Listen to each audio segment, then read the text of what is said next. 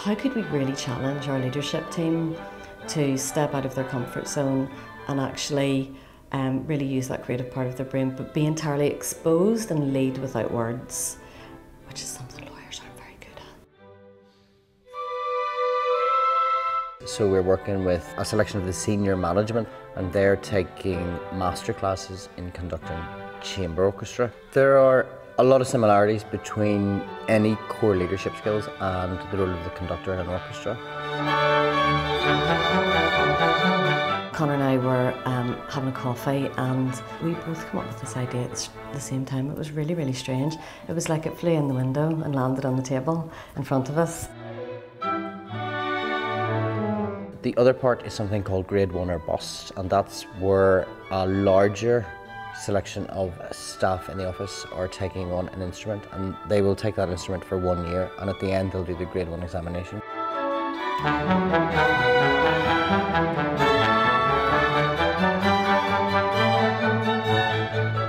And whether or not they pass it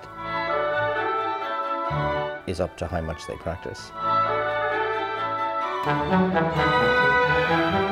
them to want to do this and to do it in a year, I think they're bonkers.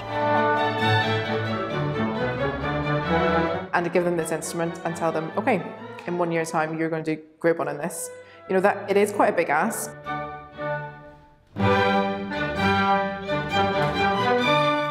It opens their mind up to something completely different.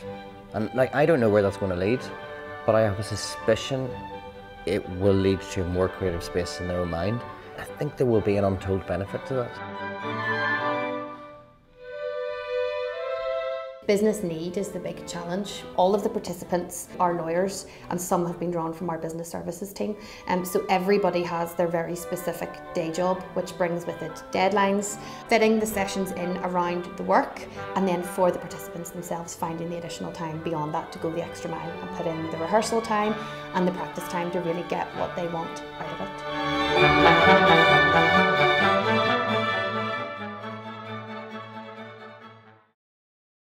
Could be terrible, could be could be great, could be an undiscovered talent.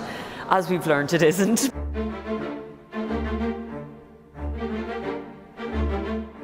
How I felt beforehand was very different to how I felt when I stood up in front of that chamber orchestra. It was a bit like one of those dreams where you uh, turn up to an exam and realise that you haven't been to any classes all year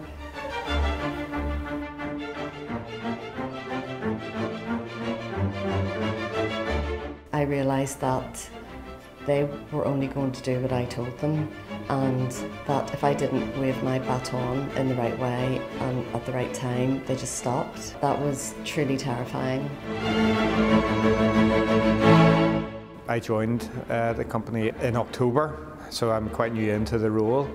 And what I find since I've come into HSF is that they're very involved in looking at innovative ways to think about leadership and think about how to take people certainly out of their comfort zone.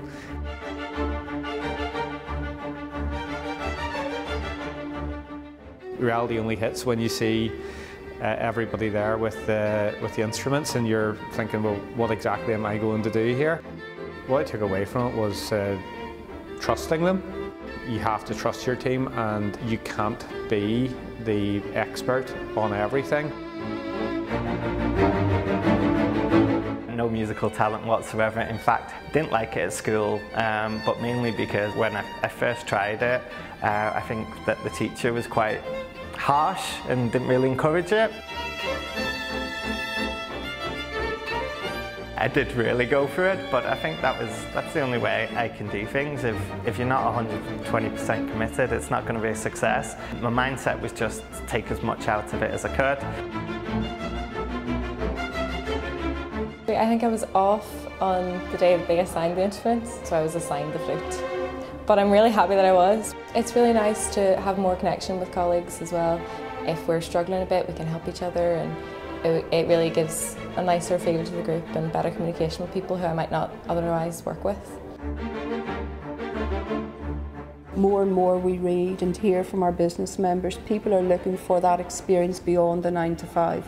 They're looking for just something a little bit different and that's where these collaborations can really work and are very effective. Connor McKillop's very good in the clarinet. Is he behind me now? He did grade three at school and stuff, so I sort of had him in my sights as somebody that then I want to get to grade three or I want to like, you know, blow him out of the water.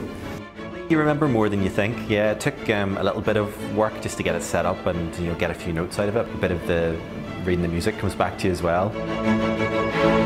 We talked at the beginning about Intermezzo, the project. I don't think we really thought that that would develop in quite the way that it has.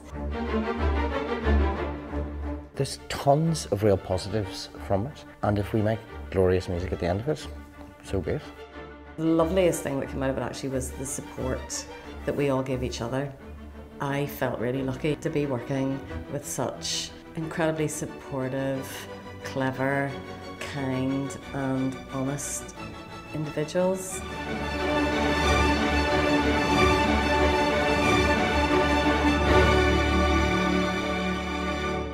I think it's important in the workplace to understand that we are all human beings and that we make those connections in that way.